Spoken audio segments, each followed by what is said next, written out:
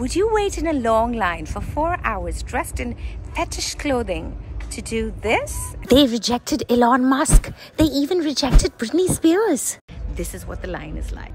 They have the strictest door policy in the world. Pictures are not allowed here. This nightclub is open for 48 hours. You can party all weekend. To get in, these are the rules. Wear full black. Do not be extra fancy. Do not be extra trashy. Don't use your phone while in queue. Keep your phone in your pocket. Do not laugh out loud while in queue. Try to look serious. Don't look stressed or excited. Try to be cool. Be alone or in a small group of two or three. Search the DJ's name because they will ask you at the door. If you get rejected, don't make a scene, stay cool, and walk out calmly. Main thing they're trying to gauge is that you're a judgment free person and you will not be shocked by what's going on inside. If you want to get in, the shortest queue is on Sunday mornings.